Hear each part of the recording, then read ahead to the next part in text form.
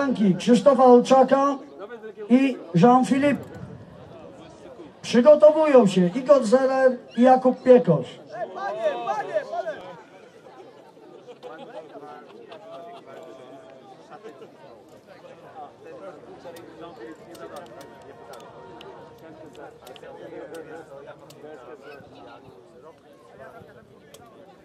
Panowie, gotowi?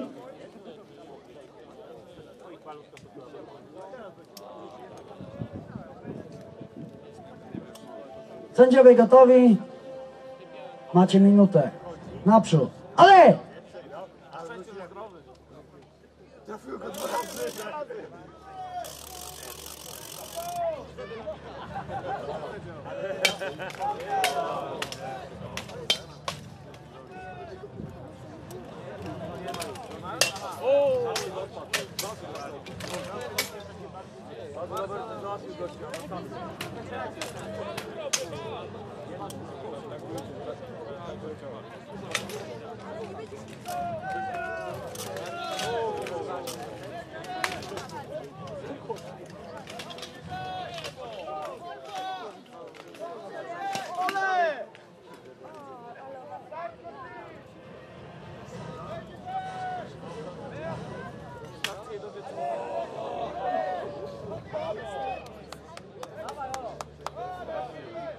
Olo, dawaj!